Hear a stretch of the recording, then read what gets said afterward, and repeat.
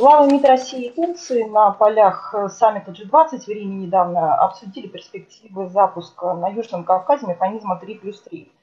Э, можно ли говорить о едином мнении по данному вопросу между Россией и Турцией, и есть ли э, некие наметки, договоренности, когда формат может реализовываться?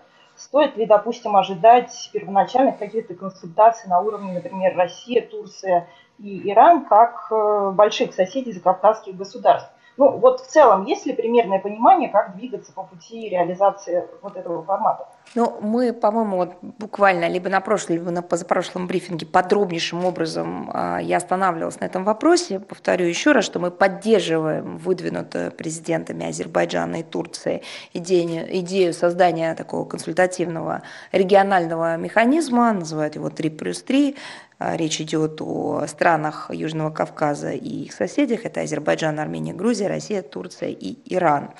И, конечно, мы считаем, что настало время, и еще раз это подчеркиваю, хотя об этом говорилось немало, настало время переводить а, эти планы в практическую плоскость.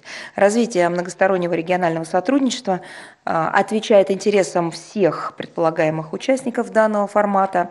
На наш взгляд, его запуск способствовал бы повышению доверия, межгосударственных отношениях, урегулированию имеющихся противоречий, раскрытию экономического, транспортного потенциала региона. Вопросов много, тем более они а, теперь имеют и новые вводные, те проблемы, которые имелись раньше в виде ситуации с пандемией, которая расставила новые акценты.